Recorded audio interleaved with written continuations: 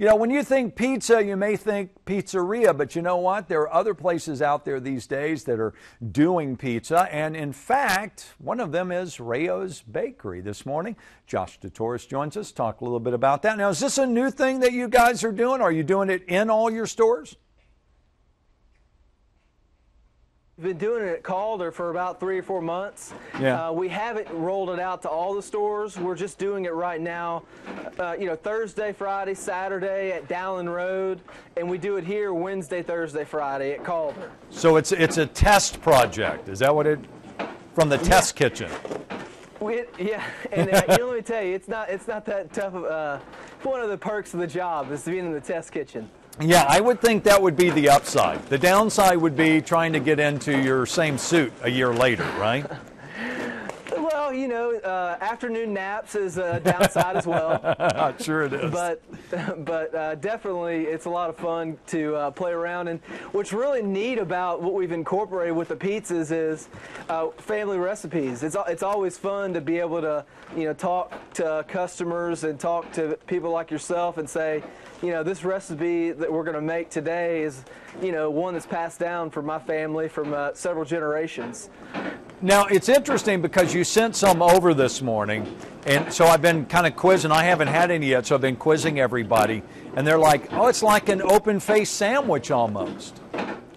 Yeah, it's similar. You know, we're using, uh, you could definitely compare it to a flatbread. Um, we're using our focaccia uh, recipe. Um, this is where we start. It's a basic focaccia bread recipe. Uh, and then we just, this recipe covers, has it covered with tomato sauce. And the one that, this is the recipe actually that y'all had this morning. And uh, it really, similar to an open faced pizza or open faced sandwich, but uh, you know, it's a little, uh, it's a little messy. It's a little messy.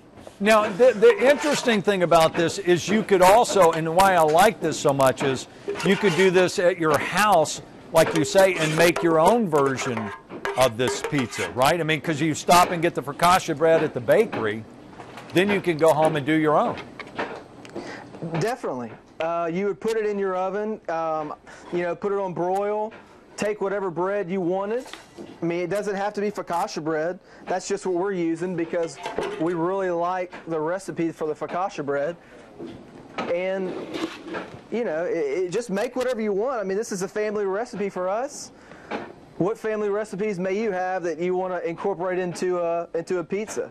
All right, so what uh, I'm going to ask, I'm assuming it's mozzarella, but what kind of cheese are you putting on there? This is a 50-50 blend of provolone and mozzarella. And you know, it's very high quality cheese. You know, it's it's it's uh, as far as ingredients wise, we're not using a lot of ingredients for the toppings. Right. You know, right. we have our uh, our spread, our this is a muffalata pizza. I hadn't gotten to the name, but this is our muffalata spread. That this is the, what's been passed down, you know, for generations in our family. Uh, we're also doing the uh, mortadella and ham to go on top as well. But th there really aren't that many ingredients to it. Well, I like that. So, and, and again, if you take it up, you could do pepperoni if you wanted to. I mean, again, that's up to you. I guess you could also go with a white sauce instead of a red sauce, right? You could, yeah, Dan. I mean, it's, it's really your preference what you want to go with. Um, for uh, for us, we went with a red sauce, uh, more traditional. Right. But you could add. I mean, you don't need sauce. Um, you could really go with uh, no sauce at all. And I'm going to show you. I wanted to take out and show you. This is the oven that we're using.